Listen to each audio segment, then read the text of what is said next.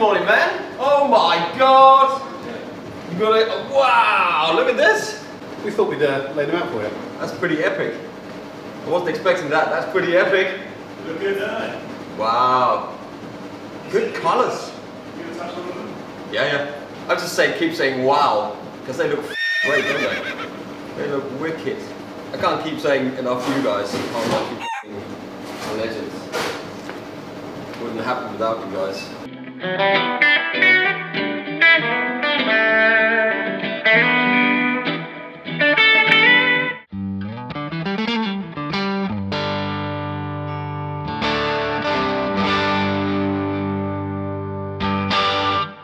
everybody, Pete here. I'm here to tell you some specs on the new DPT UK edition. It's a swamp ash body, so they are light.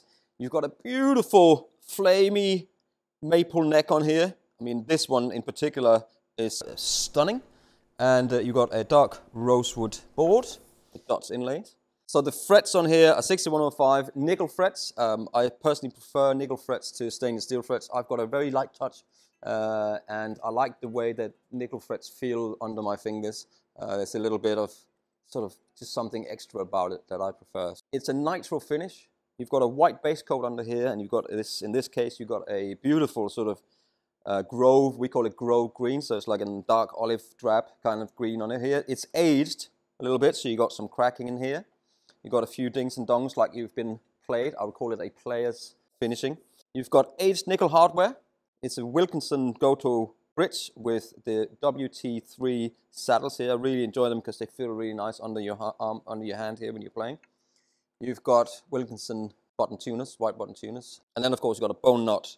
Uh, pickups is a set of Monty's DP51s in here uh, with three-way selector switch, volume and tone. Super simple. So let's hear what it sounds like.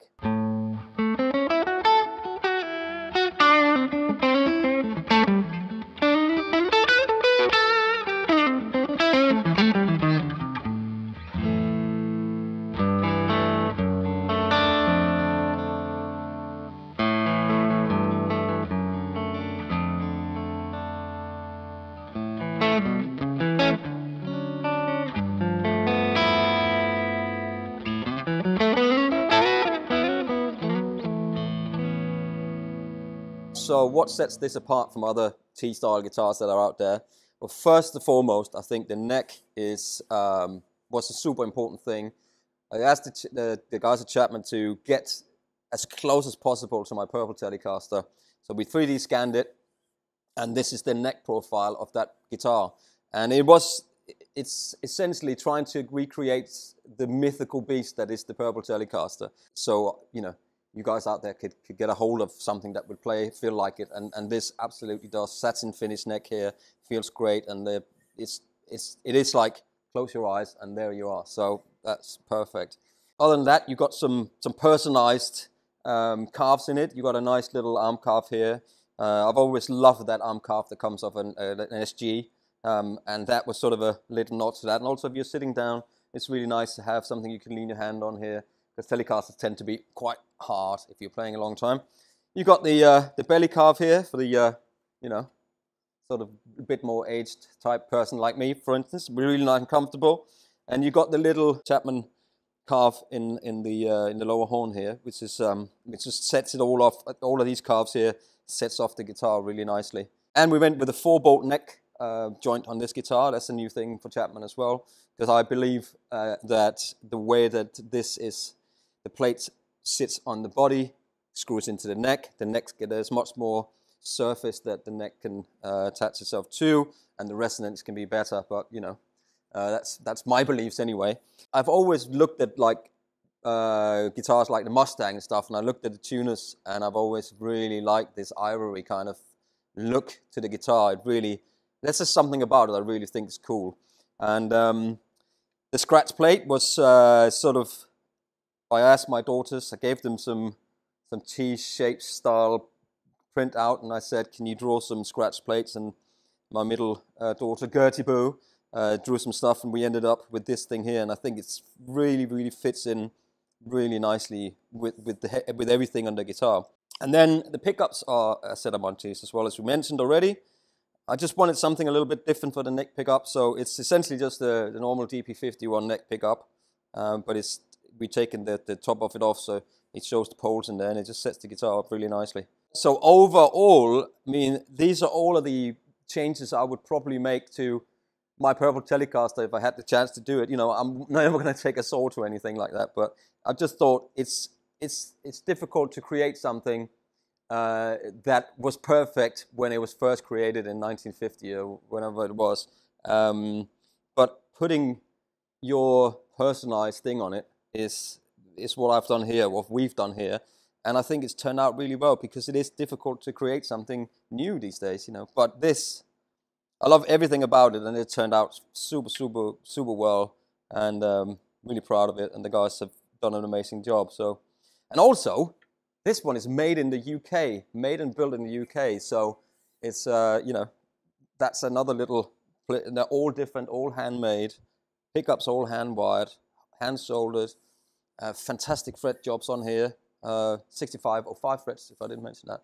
So just overall a beautiful guitar. It is really the details that matter, and stuff like the, if you, if you can, I don't know if you can see the back of the, the neck here, how I said, can we please have that sort of that carved in so it fits a little bit nicer in the hands. It's just little things like that that has gone from, you know, that it's back and forth my, so many times. And I, I, hopefully I haven't been too, too much of a pain in the ass to work with because I do believe when you do a, a, a signature product, it's one thing. You know, I didn't want it to be called a Danish Pete guitar. I just, I, did, I wanted something that was, that I can stand for and say, this is amazing and I would use this product which is really important. And if, if it's not right, you, you don't stop till it's right. So that was one of the really, really important things to get everything right. So I know that I would absolutely use that guitar. I do believe when you make uh, a signature product, you know, um, for me, it's not about having your name on the guitar. So you won't see Peter Honore or Danish Pete on this guitar anywhere because I would like people to like the guitar because they like the guitar, not because they like me necessarily.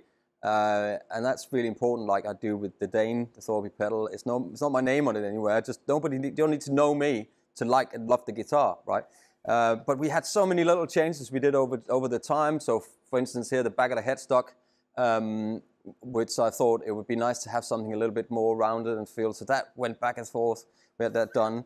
Um, so this is prototype two, I believe. So you can see the, um, the the way the neck is sort of in lined in with the body here. I wanted that not like, um, for instance, if you look at ML3 here, where you've got a little different carve here. I mean, it's just little details like that all the time that I thought, can we do this, can we do that, can we do that? And I, I hope I haven't been too much of a pain in the neck uh, in that process, you know, where the strap button is and where the, the just little bits and pieces having these things um, recessed in the body and also just this little bit rounded here and also the little rounded corners on it. And it was just, and once you get into all these little details, it's, you know, um, so, so, when you finally get the product, uh, you're like, yes, there it is. I'm happy now. Click the go button, you know. So um, it's been an amazing process, and I hope you guys will love them out there. So there we are. And another thing that was really um, cool with this whole process, it's taken quite a while now. You know, it's taken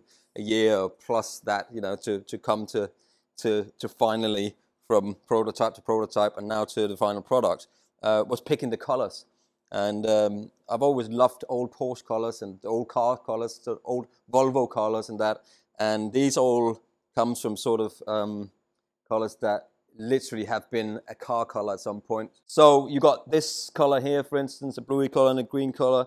You can just, if you if you go out and look vintage 911s, you'll see them in these colors. Uh, and then of course you got the uh, the classic sort of fall color, uh, pumpkin, yellow spice, mustard, uh, Bahama yellow thing here. And you'll also see Porsches in these colors and they look fantastic. Um, and all the scratch plate as well is all Bakelite, so it's proper old-fashioned um, stuff on here. And they all just feel amazing. Look at those necks on these guitars. What? They're going out to some lucky players out there and um, enrich their lives with good tone yeah, you're looking around here and going, these are the three colors, these are the first run, so these are the first UK uh, run of the guitars, and there isn't a purple one.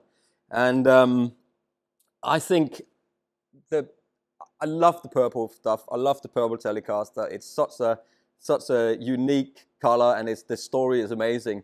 I just thought that it was kind of time to see if we could move on to something that hadn't been done before, you know, because everything out there is purple at the moment. It's not a bad thing. I still love purple, uh, but I just wanted to create something that looked a different way because I've seen so many purple T-style guitars recently that I thought we the world needs something different, and I thought this whole thing with the with the, with the uh, old car colors. I mean, John Mayer did his uh, he took his first colors from the Teslas, so you know it's not that it hasn't been done before. Uh, but then again, Fender took their colors from the old vintage cars as well in back in the day. So I just I just thought these colors are really cool, and it's really nice to be able to to, to, to make up new colors and new looking guitars. So who knows? Maybe there will be a purple limited run at some point. But you know, right now these are the colors you get. So there we are.